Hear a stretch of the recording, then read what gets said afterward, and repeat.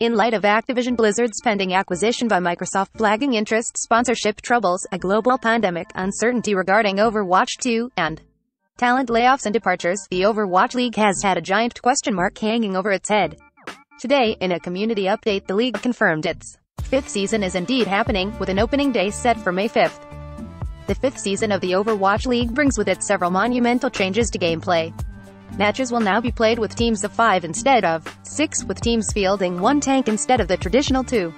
The wildly unpopular Assault game mode will be replaced with a new mode called Push.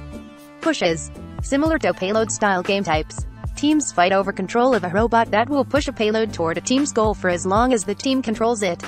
The team that pushes the robot furthest wins.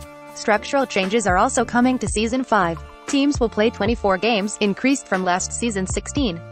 The league point system has also been slightly tweaked, awarding points based on wins in tournament qualifying matches versus overall regular season wins.